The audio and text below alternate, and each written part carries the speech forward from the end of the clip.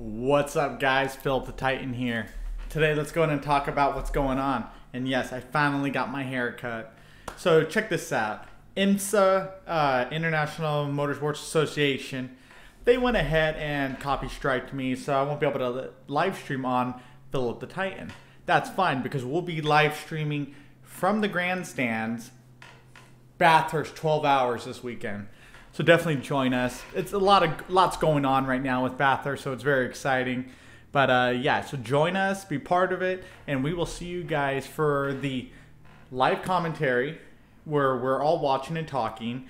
Uh, if you have Discord, you could actually join in with us and actually have conversations with us and put your two cents from the grandstands to the world. And better yet, you guys can also watch the live timing with us. So make sure to be part of that. And yes, I got the gardeners outside.